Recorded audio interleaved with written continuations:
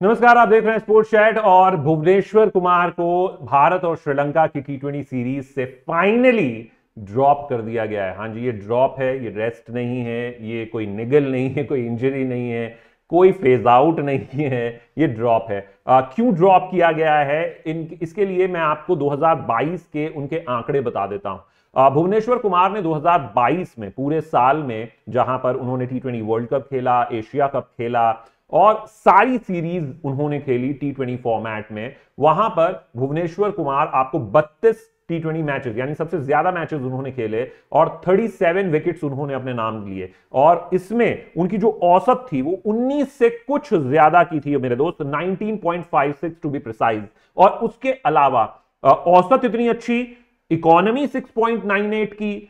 फिर क्या दिक्कत हो गई? आप लोगों को क्या परेशानी है भाई? आप काहे भुवनेश्वर के पीछे पड़े हैं?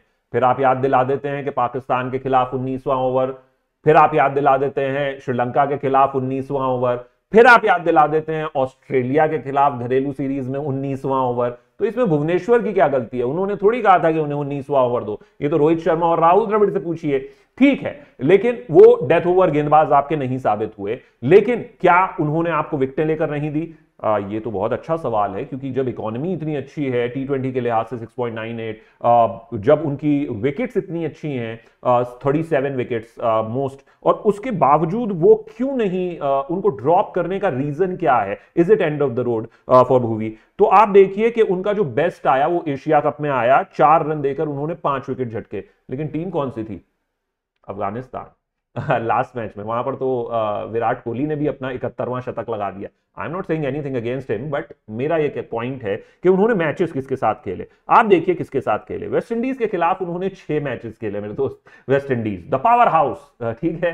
तो वेस्ट इंडीज के खिलाफ छह मैचेस खेले। श्रीलंका के खिलाफ उन्होंने इतने सारे मैचेस खेले। तीन मैचेस उनके खिलाफ खेले। दो मैचेस आयरलैंड के खिलाफ खेले।